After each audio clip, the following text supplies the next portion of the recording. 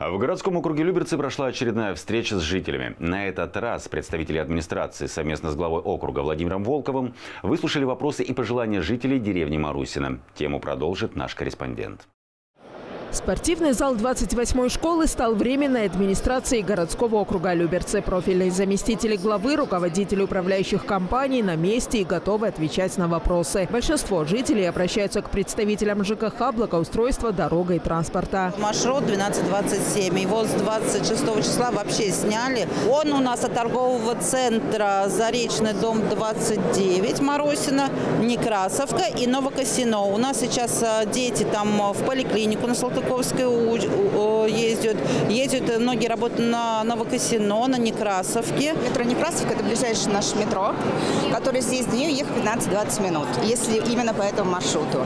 Есть еще, например, Сорокан, который тоже Минтранс ссылается, что нам мы можем в нее присесть, но он едет через Люберцы.